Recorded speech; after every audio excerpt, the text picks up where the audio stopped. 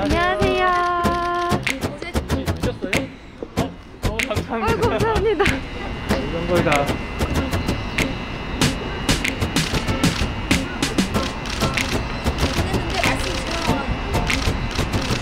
너무 많아요, 내일. 네, 내일 끝나고 엄청 막히더라고요. 말하면서 자동으로 나오는 어제처럼 이렇게 한 번만 아, 그래요?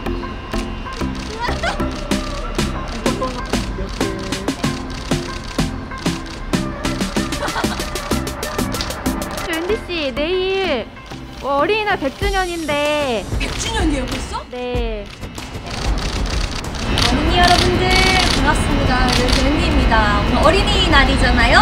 5월 5일 어, 부모님이랑 행복한 시간 보내고 동물원이나 놀이공원이나 뭐 아쿠아리움이나 가셔서 행복한 시간 보내시길 바랍니다. 어릴 때를 즐겨. 꼰대 같은 말이지만 어린이의 그 행복함을 느끼면서 행복한 하루를 보냈으면 좋겠습니다.